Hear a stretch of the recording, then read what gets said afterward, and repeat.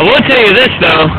Uh, I used to be pretty damn good on rollerblades, and I mean not like you know doing tricks or whatever. But I mean I never had any problem doing anything on rollerblades, and uh, I never lost my balance for the most part, whatever else. Ice skating is a different matter altogether. This is kind of a bitch to keep your balance. I actually have a lot easier of a time skiing than I do this, but it's still a hell of a lot easier than it was when I was 13. I'll tell you that. Hell of a lot easier. It's kind of, it kind of feels like I'm gonna fall on my ass the whole time, but I don't. I don't know why. But yeah.